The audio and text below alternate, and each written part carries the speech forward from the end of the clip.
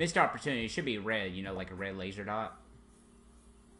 Maybe that's in the full version. You can choose the color of your dot.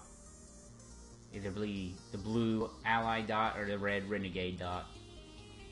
And if you beat the game, uh, like within a certain time frame, you, you get the rare uh, neutral purple dot, who you know who's an ally to both sides, but who secretly has their own agenda for I don't know world peace and or world domination.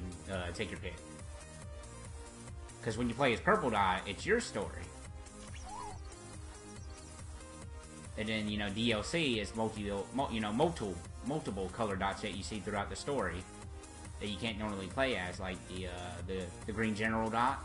You know he's uh he, he's a little bit bigger than the other dots, but you know he's he's got his uh, unique perks that will help you out throughout the adventure. And then uh, there's Blue's uh, childhood friend, the pink dot. You know she's uh she's uh she's smaller and you know, she's a quite she's a lot faster, so you might have a little hard time controlling her. But if you want to get like the most accurate or not accurate, but the most uh, the best score time scores, then you want to play as her. But the, she's expert only.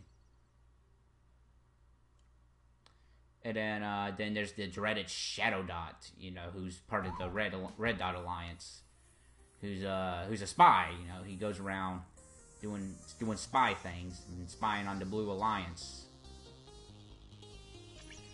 trying to get dirt on them and and the cats, the cats themselves, because um, what the red and blue sides don't know is the cats are really plotting.